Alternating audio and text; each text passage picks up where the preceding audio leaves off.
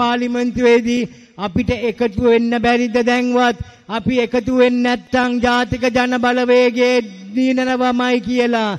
ඒගොල්ලෝ අපි එදත් කිව්වේ එකතු වෙලා කාන්තා ජීවිත නගා සිටවන්න දැන්ම ඇමතුමට සම්බන්ධ වන්න. ආවොත් පැරදෙනවා තනි තනියෙන් ආවොත් පැරදෙනවා කියලා. ඒගොල්ලෝ මේ ජනතාව ප්‍රතික්ෂේප කරනවා ඒගොල්ලො ජනතාව පරද්දනවා. ඒගොල්ලො මේ ජනතාව ගෙදර යවනවා. නමුත් දෙදස් දානමය වගේ හෙලිකප්ට්‍රේ නං යන්න හම්බු වෙන්නේ නැහැ.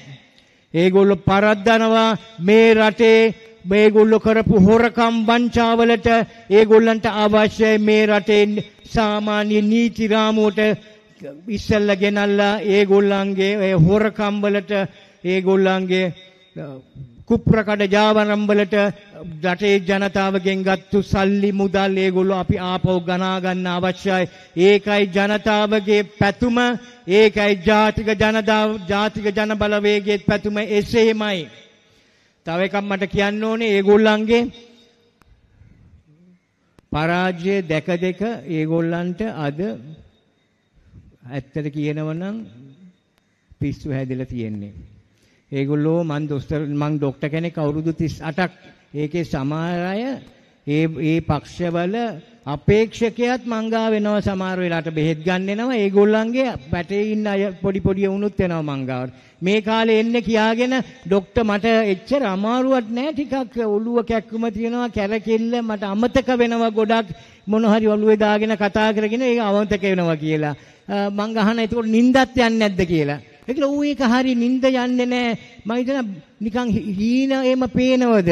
නිකන් හිටපු ගමන් රැට වෙබුල වෙලුව නැගිටිනවද කියලා. ඒකල ඔව් ඒගොල්ලන්ට එහෙම තියෙනවලු.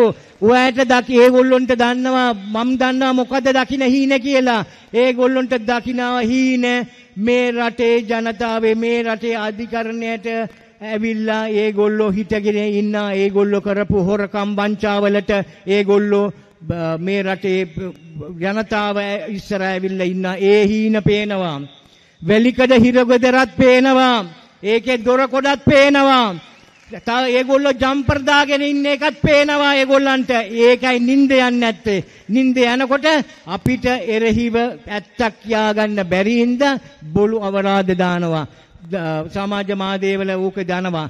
ඒක විශේෂයෙන් අපි මුස්ලිම් සමාජය ඒගොල්ලන්ට පේනවා අද ලංකාවේ හතර කොනෙම්ම මුස්ලිම් සමාජය ජාතික ජන බලවේගයත් එක්ක ඉන්නේ. මේක ඒගොල්ලන්ට පිළිගන්න බෑ. ඒගොල්ල හිතන් හිටියේ මෙච්චර කල් මුස්ලිම් සමාජය. ඒගොල්ලෝ කියන ඒගොල්ලෝ ගහන බෙරේට නැට නටයි කියලා අපි අද එහෙම මුස්ලිම් සමාජයක් අද නැහැ. ඒගොල්ලෝ ඒ ඉඳ ඒ විශේෂ අපිට ගහනවා අපිට අපි ගැන විරුද්ධව කියන මම මේක දෙමෙල්ලෙන් කිව්වොත් මම පොඩ්ඩක් තේරෙයි කියලා හිතනවා.